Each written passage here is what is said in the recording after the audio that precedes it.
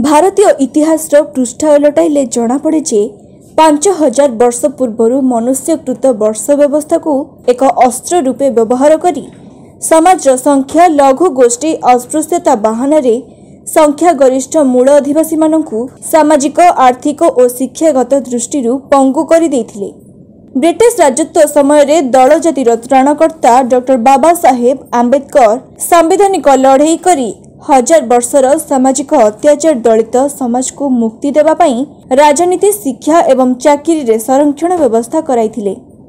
ବର୍ଷ ବ୍ୟବସ୍ଥାର ସପକ୍ଷବାଦୀଙ୍କ ପ୍ରବଳ ବିରୋଧ ସତ୍ତ୍ୱେ ପ୍ରଥମ ଥର ପାଇଁ ଉଣେଇଶହ ଏକତିରିଶର ପ୍ରଥମ ଜନଗଣନା ତଥା ଭାରତର ରାଷ୍ଟ୍ରପତିଙ୍କ ଦ୍ୱାରା ଆଦେଶନାମା ଉଣେଇଶହ ପଚାଶ ଜାରି କରାଗଲା।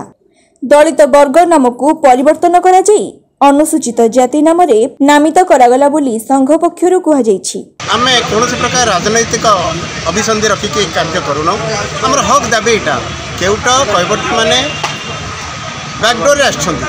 ବାବା ସାହେବ କହିଥିଲେ ଯେ ଯେଉଁମାନେ ଅସ୍ପୃଶ୍ୟ ଯେଉଁମାନେ ସମାଜରେ ଅବହେଳିତ ସେଇମାନଙ୍କୁ ଏ ସଂରକ୍ଷଣ ବ୍ୟବସ୍ଥା ଦିଆଯିବ।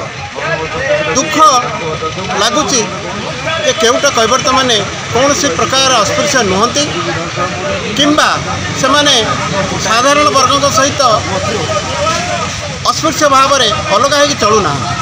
କି ସେମାନେ କୌଣସି ପ୍ରକାର ଛୋଟ କାମ ମଧ୍ୟ କରୁନାହାନ୍ତି।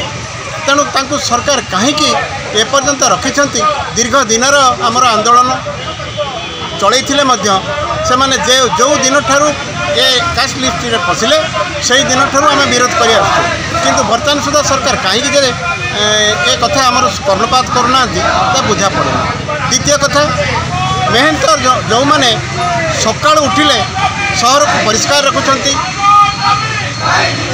ଆପଣ ସହରର ଯଦି ଏକ ନମ୍ବର ମୁଖ୍ୟମନ୍ତ୍ରୀ ପରିମଳରେ ପୁରସ୍କାର ପାଉଛନ୍ତି ତାହା କେବଳ ଏଇ ମେହେନ୍ତର ଗୋଷ୍ଠୀଙ୍କ ପାଇଁ।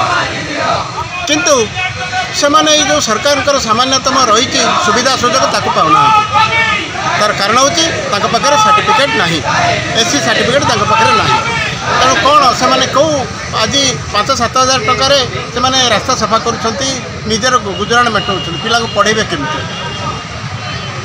ସରକାରୀ ସୁବିଧା ସେମାନେ ପାଇବାର ବଞ୍ଚିତ।